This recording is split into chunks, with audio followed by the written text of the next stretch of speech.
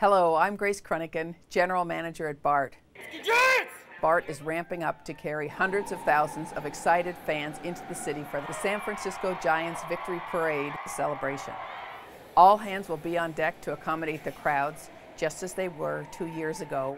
The sheer volume of people expected at the parade is going to be tremendous.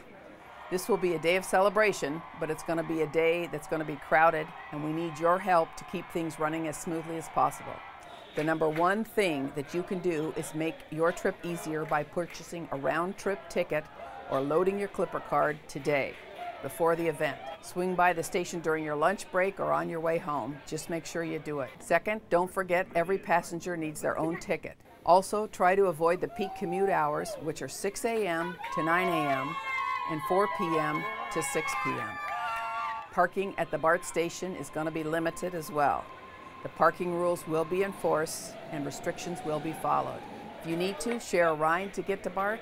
Better yet, take the bus. Have fun and be safe. And congratulations, Giants. Way to go.